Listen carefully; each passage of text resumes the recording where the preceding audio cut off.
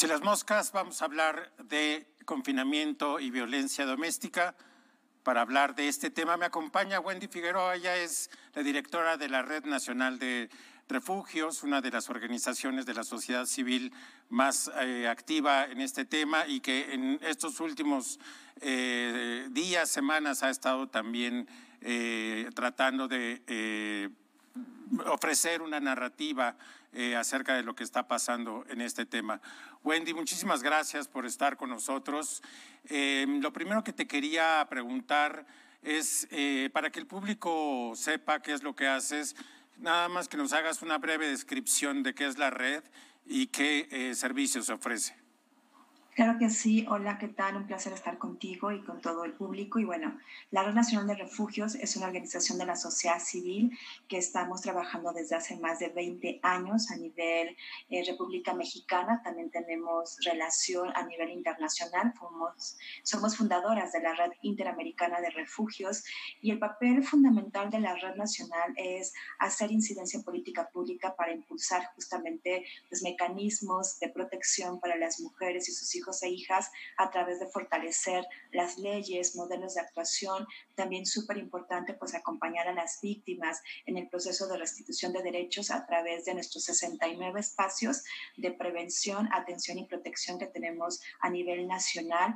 Y es bien importante decirte que nuestro modelo eh, pues está sustentado en la Ley General de Acceso a las Mujeres, pero también en estándares internacionales y que contemplan eh, cuatro mecanismos o niveles de actuación.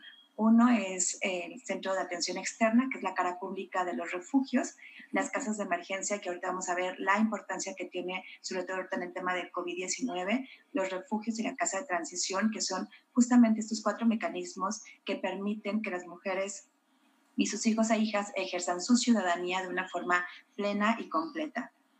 Muy bien, Wendy. Bueno, um, háblanos de cómo era, cómo estaba el asunto de la violencia doméstica antes de que entráramos a la etapa de confinamiento? Es una pregunta súper importante porque a veces se nos olvida, o más bien el COVID-19 vino a tratar de invisibilizar una problemática que ya existía históricamente en nuestro país. Antes del COVID-19, de hecho, recordarás las manifestaciones del mes de marzo, donde miles de mujeres nos pronunciamos primero haciendo uso de nuestras voces, por las que lamentablemente ya no están, fueron víctimas del feminicidio, por las que vienen y por las que seguimos, donde hubo una gran diversidad de mujeres que nos eh, reunimos para tomar las calles y exigir un alto a las violencias contra las mujeres, que son realmente estructurales y que arrebatan la vida de 10 mujeres diariamente en nuestro país. Después vino el 9 de marzo, que fue un paro voluntario, que eso es bien importante enfatizar. Eh, varias mujeres que pudimos nos quedamos voluntariamente en casa, justamente para hacer visible cómo eh, las violencias contra las mujeres impactan a toda la sociedad. Y bueno, pues eh, el hecho de que llegara el COVID lo que hizo fue venir a hacer muchísimo más profunda estas violencias que existían ya contra las mujeres, niños y niñas muchísimo más las discriminaciones y las desigualdades que hay en nuestro país en el acceso a la salud, a la justicia, a la información, por supuesto a la distribución totalmente inequitativa que hay en las labores de cuidado y en las labores domésticas, que ha venido precisamente a impactar eh, la convivencia diaria, pero sobre todo la situación de violencias contra las mujeres. Entonces, esto no es nuevo, eh, esto ya venía existiendo en nuestro país y también es importante decir, porque hay quien piensa que solamente es o estamos responsabilizando en el gobierno actual y no, o sea, nos queda claro que no es una responsabilidad del gobierno en turno, es una secuela de todos los gobiernos anteriores, por eso hablo de una deuda histórica, pero si hay cosas que le competen a este gobierno en específico en esta situación que estamos viviendo y por supuesto ante pues, la invisibilización de las violencias que se pretenden hacer, que están viviendo actualmente las mujeres, muchas de ellas en su casa, donde pues para muchas personas el quédate en casa, por supuesto que previene eh, que se siga contagiando de COVID-19, pero para muchas otras esta es una situación totalmente aterradora y de un incremento de violencia contra ellas, sus hijos e hijas. Sí, para que quede claro, ¿quiénes son los principales victimarios eh, en, en la violencia doméstica contra mujeres, niños y niñas? Las principales eh, personas victimarias o agresoras son pues bueno, un gran porcentaje la familia, las personas cercanas a ella. De hecho, estadísticamente nos dicen, el INEGI nos ha reportado que el 50% de los feminicidios se han cometido en un gran porcentaje por la pareja o el esposo y un 22% por familiares de la víctima. Dentro, justamente, el 40% de estos feminicidios en la casa. Por lo tanto, pues no es un espacio seguro para muchas mujeres, niños y niñas y tampoco, pues bueno, hay familias armónicas en todo el país. Hay las suficientes para hablar que el 22% de los feminicidios han sido cometidos por familiares. En tiempos, digamos, normales, entre comillas, eh, ¿cómo funciona la o cómo funcionaba la red de, refugios? Es ¿cuál era el proceso para que alguien eh, acudiera a ustedes en busca de de separarse del agresor y encontrar un espacio de seguridad distinto? Mira, prácticamente ha sido el mismo, es decir, eh, nuestros protocolos de actuación vienen siendo eh, siempre acordes a las necesidades de las mujeres y bueno, desde hace varios años activamos la línea de atención telefónica y los mensajes a través de redes sociales. También tenemos esta atención a través de los centros externos de los refugios donde las mujeres pueden llegar eh, personalmente o pueden ser referidas por alguna institución o alguna mujer compañera que ya estuvo en los refugios ¿Qué es lo que ha cambiado? Es, bueno, algo importantísimo decir que hemos transitado a hacer uso de estas tecnologías, como también ustedes, ¿no? A través del Zoom, del Skype, justamente para seguir dando atención dentro de los centros externos, que es donde hay mayor afluencia de mujeres, niños y niñas. En los centros externos son mujeres o que ya habían salido del refugio y continúan con su proceso de fortalecimiento, o bien mujeres que afortunadamente en la casa no habita el agresor y tienen un proceso integral de toma de decisiones y restitución de derechos. Con esta población, que es una gran población, hemos transitado a dar, pues bueno, intervenciones psicológicas, por ejemplo, a través de Skype, de Zoom, para que continuemos con el proceso sin que haya una interrupción. ¿Qué hemos hecho también? Bueno, pues que en los refugios hubo un cambio en el protocolo de atención, seguimos operando al 100%, pero pues bueno, estamos haciendo de alguna forma horarios escalonados para que no sea el mismo tránsito de gente, de profesionales que llegan al mismo tiempo al refugio. Hacemos todo un cambio, pues ya sabes, todas las medidas de seguridad y sanidad que nos, eh, nos solicitan, tanto a nivel nacional e internacional, cambio de ropa, de zapatos, uso de cubrebocas, etcétera. Y también con la población residente, pues bueno, hemos usado el Skype, por ejemplo, para algunas actividades grupales como de autogestión económica o clases de yoga, que esto también permite disminuir la situación del contagio del COVID-19. ¿Qué otras cosas hemos hecho? Bueno, en, cuando yo hablaba de la casa de emergencia, la casa de emergencia es ese espacio donde las mujeres pueden estar tres días. Eh, muchas de ellas cuando salen de casa, pues bueno, sí tienen familiares o redes de apoyo que las pueden acompañar, pero el agresor o les cortó esta posibilidad de comunicarse y entonces lo que necesitan es un espacio para poder volver a contactarlas. Eso es lo que hacemos en las casas de emergencia. ¿Qué hemos hecho ahora con el COVID-19? Que las casas de emergencia no están funcionando por tres días, están funcionando prácticamente por 14 días que le estamos usando como este periodo de cuarentena para que cuando una mujer vaya a ingresar al refugio, previo al refugio, esté el tiempo de cuarentena. ¿Esto para qué? Pues para mitigar un poco el riesgo de llevar al refugio un caso de COVID-19, que esto implicaría poner pues, a toda la población en cuarentena, ¿no? Y estamos hablando de más de 40 personas. Esto es importante decirlo, lo hemos aplicado en aquellos estados o ciudades donde tenemos casas de emergencia, porque cabe decir que desde hace muchos años hemos buscado que se incorporen las casas de emergencia y las casas de transición a la Ley General de Acceso como parte del modelo de refugio y hasta ahorita no ha existido eso. Es decir, no hay financiamiento para ellas, ¿no? Entonces es muy complejo y hay ciudades donde no existe. Entonces, ¿qué hacemos? Que cuando no está la casa de emergencia, en los refugios implementamos un cuarto o dos habitaciones, dependiendo de la capacidad, que son los que fungen como estos espacios de aislamiento durante la cuarentena.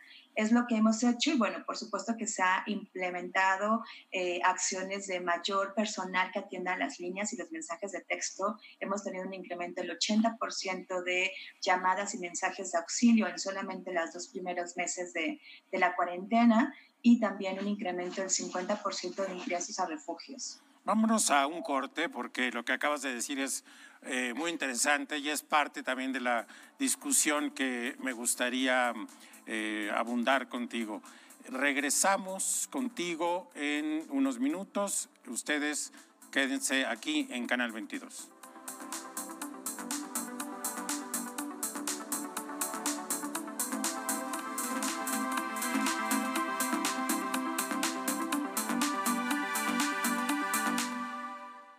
En la CNDH, vigilamos que las medidas para atender la emergencia del COVID-19 se apliquen con estricto respeto a la ley y a los derechos humanos de todas las personas. Brindamos orientación y asesoría las 24 horas del día. En línea www.cndh.org.mx, en los teléfonos 5556 81 81 25 y 800 715 2000 o en la aplicación móvil CNDH Atiende. Comisión Nacional de los Derechos Humanos. Estamos de regreso en Por si las moscas. Yo soy Guillermo Sorno. Estamos hablando con Wendy Figueroa de la Red Nacional de Refugios. Wendy, eh, antes del corte ya eh, estabas adelantando eh, algunas medidas que han tomado a partir del COVID-19 y el confinamiento, pero quiero que hablemos del encuentro de narrativas que hay en este momento. hay una narrativa que dice que la familia mexicana es, es buena y, este, y que el confinamiento ha logrado esta unión familiar. Y hay otra narrativa, que es eh, una narrativa feminista, en donde dicen, que como lo acabas de decir, no, los casos eh, en el confinamiento, las agresiones a las mujeres o a las niñas o los niños aumentan y, este, y de hecho ustedes han recibido muchísimas más eh, llamadas. Hay otra, eh, en el otro lado de la narrativa, eh, los casos de violencia contra, doméstica contra las mujeres, niños y niñas no ha cambiado. Y en el lado de tu narrativa, por supuesto, las llamadas y las pedidas de auxilio han llamado. ¿Qué hace la red nacional para tratar de, empujar el tema que te ocupa? Bueno, primero lo que hacemos es, además de, generar estadísticas, porque sabemos que son importantes tener datos, pues lo que hacemos es creerle a las víctimas y es atender directamente a las mujeres, sus hijos e hijas, ¿no? Nosotras no solamente hablamos del incremento de, datos eh, estadísticos, que por supuesto son importantes, te dan una guía de lo que está sucediendo, estamos hablando también a través de las voces de las mujeres que han estado ingresando a los refugios, que han estado solicitando atenciones, y bueno, yo te puedo decir que sí hay para nosotras una, eh, una situación muy importante que, refleja ¿no? la realidad, que es eh, que hay un incremento en nuestras atenciones a nivel nacional del 77% en comparación a los mismos periodos del 2019 en cuanto al número de mujeres, niños y niñas atendidos. Son más de 11.000 personas las que hemos atendido en tan solo estas 12, eh, estos dos meses de confinamiento. Eh, no es algo que, que nosotras inventemos porque, bueno, están las voces de las mujeres y es importante decir que de esta, este, esta población, que son más de 11.000 personas, mujeres, niños y niñas, eh, el 100% ha reflejado vivir violencia dentro del ámbito familiar. Por lo tanto, no podemos asegurar que en México las familias sean armónicas o bien que durante el confinamiento en todas las familias se haya fortalecido la unión familiar. Me parece que esta es una visión que romantiza la familia, pero que también romantiza el amor y pues invisibiliza la realidad de cientos de mujeres mexicanas que han tenido que huir de sus casas porque están en una situación de riesgo. Importante también decirte que de ese porcentaje que han llegado a los refugios, el 5% de niños y niñas han sido víctimas de abuso sexual durante el confinamiento. ¿no? Entonces, bueno, esto no es algo que se da en una familia armónica. Save the Children también dice algo muy importante. El 80% de las familias mexicanas utilizan el castigo, la violencia, el maltrato como un método de disciplina. Entonces, bueno, creo que con estos datos no podemos eh, cegarnos a una realidad que existe en México. Yo no dudo, por supuesto, que haya familias amorosas, donde haya igualdad. De hecho, para eso trabajamos. En la Red Nacional de Refugios creemos en el cambio, creemos en la reeducación, creemos en que se pueden cambiar estructuras y bueno, apostamos y día a día nos levantamos con esa convicción, hemos visto cambios, pero no podemos dejar de mirar también la otra realidad, que hay muchas familias, muchas casas donde esto no es real y donde también estamos identificando una situación delicada. Nosotras habíamos, bueno, eh, visto, ¿no? O habíamos visualizado que conforme más tiempo se pasaba el momento de confinamiento, es decir, este se hacía más, más grande, iba a haber menos posibilidades de que las mujeres se contactaran con nosotras o con sus redes de apoyo. Y esto ya existió, es decir, ya es una realidad. Yo no, no nada más lo visualizamos hace dos meses en la red nacional, sino que ya es un hecho. El 19% de las personas que nos llamaron en el último mes son redes de apoyo de esa mujer víctima de violencia mm. que no puede contactarnos porque el agresor está ahí y en esas redes de apoyo son padres, madres, padres, hermanos, hijos de las propias víctimas o amistades. Y bueno, esto te refleja precisamente que es tanto el control que está existiendo en esas casas que no podemos decir que lo que se fomentó en todas las casas es la unión familiar, sino que hay una situación de control y, e incluso muchas mujeres lo que nos han dicho cuando nos contactan es, estoy esperando a que se levante el confinamiento porque me da miedo salir y contagiarme de COVID-19. ¿Esto qué significa? Significa que una vez que se levante el confinamiento, va a haber una gran demanda en los servicios de protección, en los servicios de salud, porque ojo, nadie ha dicho eso. Nos han comentado, y tú lo sabes, y todas las personas que hemos escuchado, quédate en casa. ¿No? Si tienes alguna situación de malestar, quédate en casa, cuídate. ¿Esto qué quiere decir? Que las mujeres que son hipertensas, que las mujeres diabéticas, que las mujeres que tienen tratamientos especializados, etcétera, no han podido ir a la atención médica porque está el tema del COVID-19 y el miedo a contagiarte si te vas al médico. Por lo tanto, tenemos que estar muy conscientes y nosotras eso es lo que estamos visualizando y que nos parece grave, porque si ahorita no se está haciendo una actuación integral, imagínate, una vez que se levante el confinamiento, se va a incrementar la demanda en los servicios especializados entre ellos de protección como los refugios, los servicios de salud, de acceso a la justicia, la parte educativa y bueno, por supuesto, el impacto económico que va a tener para todas las personas, hombres y mujeres, pero no hay que perder de vista que muchas mujeres están en el empleo informal y que son las jefas de familia, ¿no? Y que esto está impactando no solamente en este momento, sino que va a seguir impactando lo que nosotros llamamos post-COVID, aunque no sabemos, digo, con las nuevas realidades que nos dicen, pareciera ser que vamos a vivir eternamente y aprender a convivir con el COVID. Pero el tema es que una vez que se levante este confinamiento va a haber mayor eh, demanda de atenciones y yo creo que el Estado mexicano y sus autoridades y sus instituciones no lo están mirando. Eh, Wendy, em, eh, obviamente creo que es distinta la situación en la Ciudad de México que en otras partes de la República.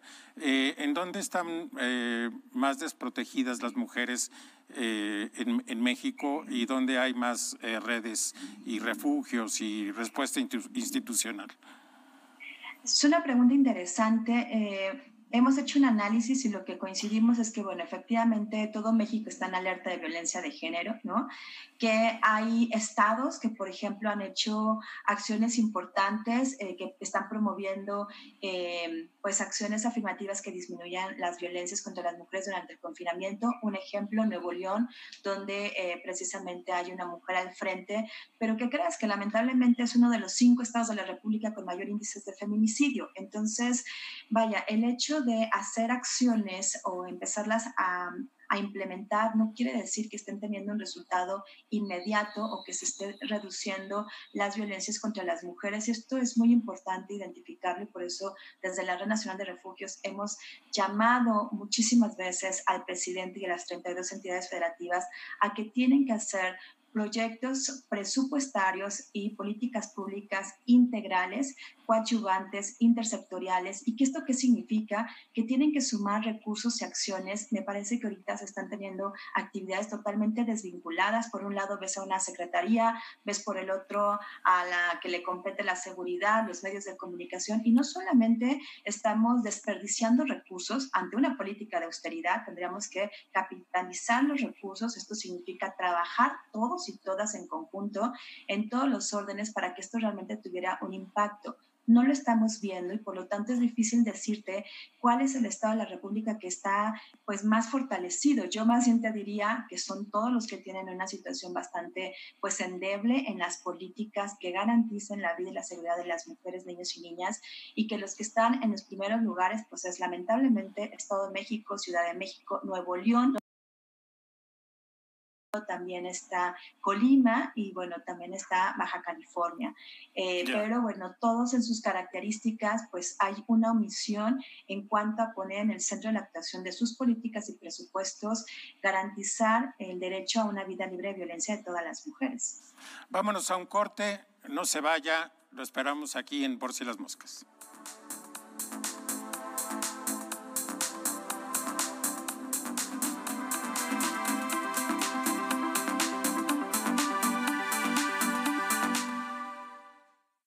Somos un México solidario que protege a todas y todos.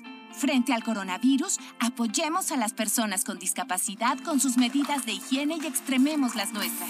Ayudemos con sus compras y trámites y estemos atentos a sus necesidades si llegan a enfermar. Si tú vives con alguna discapacidad, desinfecta tus dispositivos de asistencia y define quién te asistirá si enferma tu cuidador principal.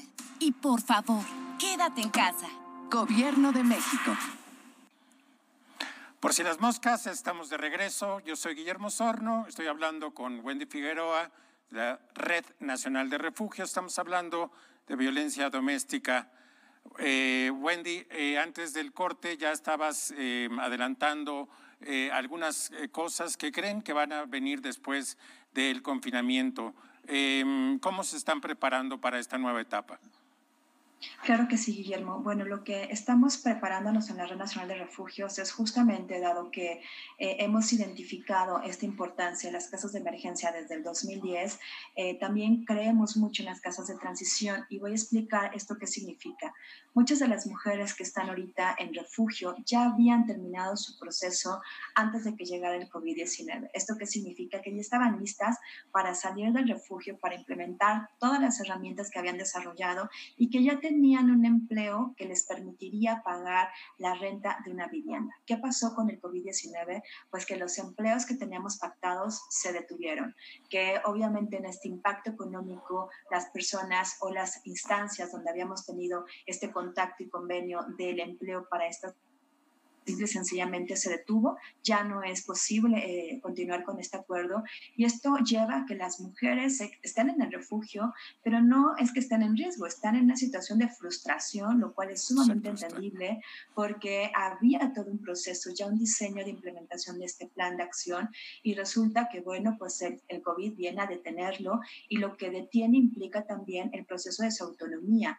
Si nosotras tenemos estas casas de transición, lo que se permite que ese es el el objetivo de una casa de transición es una vez que sale la mujer del refugio, que no tiene eh, una vivienda, ella va a esta casa donde puede estar ahí seis meses sin pagar renta, es un espacio de proceso de autonomía donde se capitaliza va a trabajar, hace su vida y entonces una vez que tiene el recurso puede pagar una renta y la acompañamos en todo este proceso conciliando pues el tema de los cuidados de los hijos y las hijas, que sabes que también se desmanteló en el 2019 este sistema de cuidados que tenía eh, México en el caso de las estancias, ¿no? y que esto también impactó a las mujeres en el aspecto de su desarrollo y a los niños y a las niñas porque no tienen un espacio obviamente eh, de convivencia ni de sano desarrollo.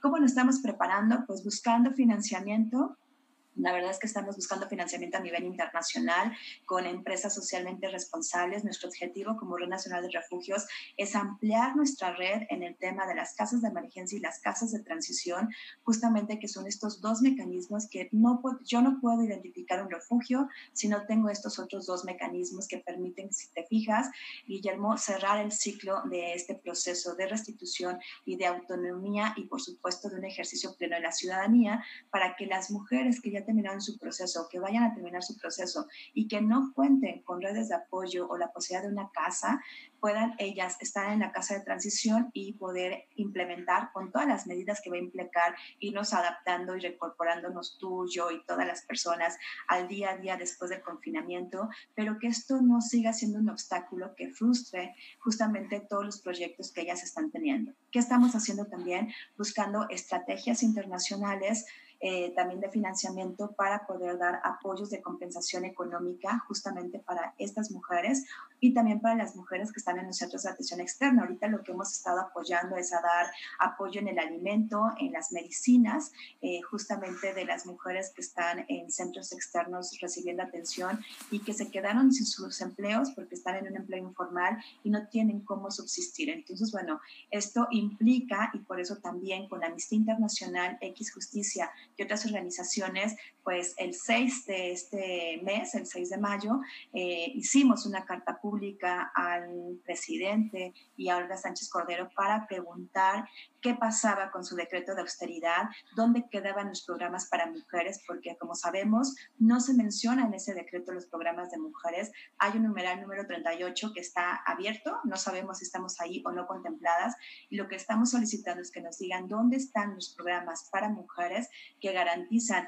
la disminución de las brechas de desigualdad y buscando que no se quite el presupuesto, porque sabes que ahorita las CAMIS, que son las casas de las mujeres indígenas, tienen detenido el presupuesto y hay muchas que van a dejar de existir justamente porque simple y sencillamente detuvieron el presupuesto y estamos a la deriva y es necesario y urgente que se tengan presupuestos extraordinarios para atender, insisto, las secuelas que está trayendo el COVID y que va a seguir trayendo en la vida de todas las personas mexicanas, pero sí muy específicamente de las mujeres, niñas y niños, porque está pegando el COVID de una forma muy diferenciada por la cuestión de género y las discriminaciones y desigualdades país.